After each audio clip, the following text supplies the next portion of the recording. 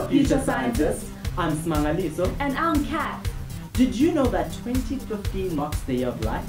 And SciFest reveals everything about light. Wait, before we go any further, Smanga, what is light? Oh, the presenter from the spectrometer workshop, Alfred Hanyane, will tell us.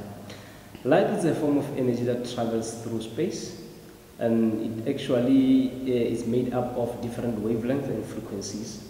Uh, like uh, the light that is around us, that is your visible light, is actually a specific wavelength. But we have about seven light rays, okay? So this wavelength, we can also refer to them as light rays, from the shortest to the longest. Your, your gamma ray, your X-ray, your ultraviolet, your infrared, uh, visible, and then we have also your microwave and your Eh, radio waves. Yeah. Smanga, did you know that white light is made up of all the colors of the rainbow? Really? And you can see them through a spectrometer. Oh, just the other day, our friends were building a spectrometer. Let's, Let's check, check it it out. out.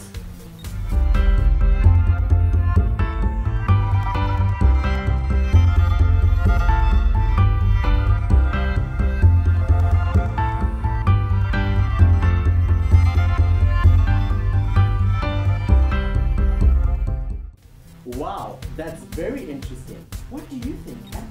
Well, that's all well and everything, but I'd sure like to see some light in action. Well, let's go to the laser show. Bye, guys!